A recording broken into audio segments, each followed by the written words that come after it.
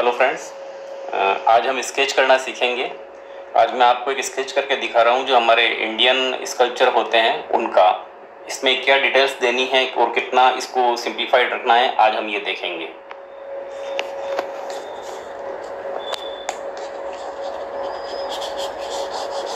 सबसे पहले आपको एक प्रपोर्शन लेना होगा कि हमको कितना बड़ा बनाना है और कितना बड़ा उसका टोटल वो रहेगा।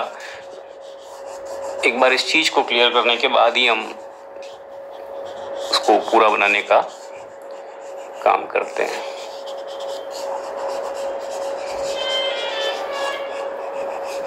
शुरुआती हमारी जो रेखाएँ होंगी, इसमें इस पूरे स्कल्पचर का मूवमेंट सेट कर देगी कि हमको कहाँ पे और क्या बनाना है और कितना इसमें डिटेल देनी है।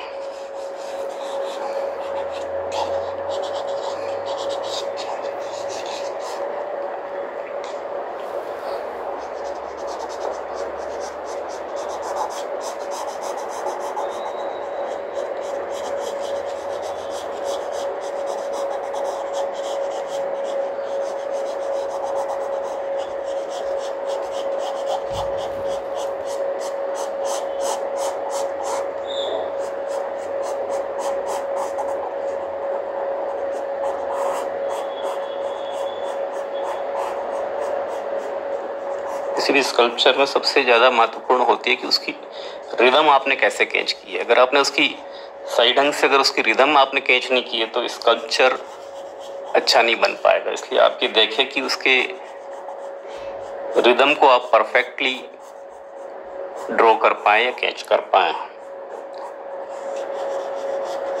एक बार रिदम अगर आपने कैच कर ली तो उसके बाद अगर उसमें थोड़ी बहुत अशुद्धियाँ भी रही तो थोड़ी बहुत कमियाँ भी रही तो भी वो चल सकता है। लेकिन अगर रिदम नहीं हुई तो मुश्किल रहेगा।